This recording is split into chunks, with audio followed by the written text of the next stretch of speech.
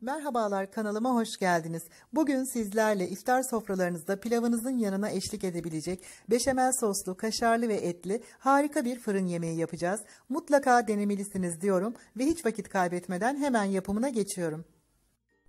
Öncelikle yemeğimizin etini pişirerek başlayalım. Ben bir kase kadar kuşbaşı etimi güzelce yıkadım ve süzdürdüm. Et miktarını arttırıp azaltabilirsiniz. Şimdi tencereme aldım ve üzerine çıkacak kadar suyumu ilave ediyorum. Bir miktar daha eklemek istiyorum. Evet bu kadar yeterli. Kaynamaya başladıktan sonra altını kısarak arada sırada da karıştırarak suyunu çekene kadar pişmeye bırakıyorum. Etim suyunun çoğunu çekti. Az bir miktarda suyu kaldı ve neredeyse pişti sayılır. Bu aşamada içerisine göz kararı tuzumu ilave ediyorum ve karıştırıyorum. Daha sonra yine kısık ateşte kapağını kapatarak suyunu tamamen çekene kadar pişmeye bırakıyorum.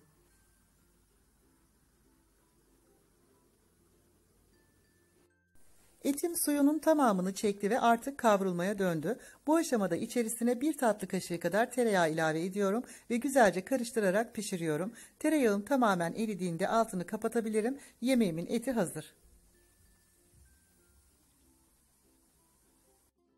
Yemeğimin patatesleri için tavama bolca yağı aldım ve 3-4 tane patatesimi de soyarak küçük küçük küpler halinde doğradım. İyice kızmış olan yağıma koyuyorum ve patateslerimi kızartmaya başlıyorum. Patateslerim güzelce kızardılar. Şimdi fazla yağlarını bırakmaları için bir tabağa kağıt havlu serdim ve kızarmış olan patateslerimi üzerine çıkartıyorum. 2 adet patlıcanı da alacalı bir şekilde soydum ve küp küp doğradım. Kızmış olan yağımın içerisine bırakıyorum ve patlıcanlarımı da aynı şekilde kızartıyorum. Kızarmış olan patlıcanlarımı da aynı şekilde kağıt havlu sermiş olduğum tabağıma alıyorum ve fazla yağlarını bırakmaları için bir kenara kaldırıyorum. Beşamel sosum için bir dolu yemek kaşığı tereyağımı tencereme alıyorum ve eritiyorum. Yağım eridi ve içerisine 2 yemek kaşığı unumu ilave ediyorum. Rengini çok fazla değiştirmeden sadece çiğ kokusu gidene kadar sürekli karıştırarak kavuruyorum. Unumu 1-2 dakika bu şekilde kavurdum. Şimdi içerisine bir yandan sürekli karıştırarak 2 su bardağı soğuk sütümü ilave ediyorum ve karıştırarak kaynamasını bekliyorum.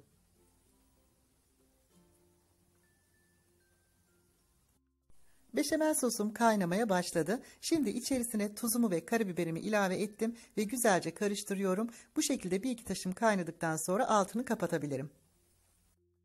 Yemeğimin tüm malzemeleri hazır. Artık yemeğimi pişireceğim fırın kabına alabilirim. Pişirmiş olduğum etlerimi kabıma alıyorum.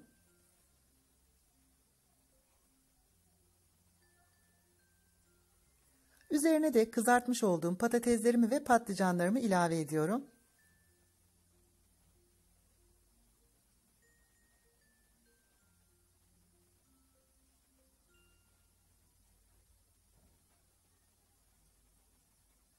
Ve tüm malzemelerimi kaşıkla şöyle bir harmanlayarak düzeltiyorum. Ve şimdi üzerlerine pişirmiş olduğum beşamel sosumu döküyorum.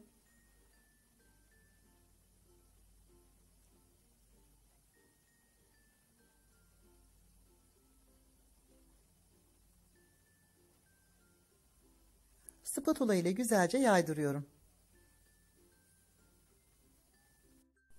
Beşamel sosumun üzerini de rendelemiş olduğum kaşar peyniriyle kapatıyorum.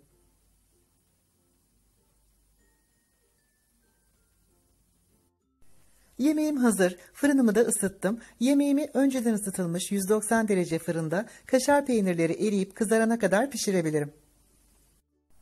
Yemeğimi üzeri kızarana kadar pişirdim ve fırından çıkartır çıkartmaz dilimlemek zorunda kaldım. Sizler dilimlemeden önce 15-20 dakika kadar dinlendirirseniz çok daha güzel olacaktır. Sizler için bir dilim çıkartarak göstermek istiyorum. Gerçekten buram buram kokan çok lezzetli bir yemek oldu. O yüzden mutlaka denemenizi tavsiye ediyorum. Eminim ki siz de çok beğeneceksiniz.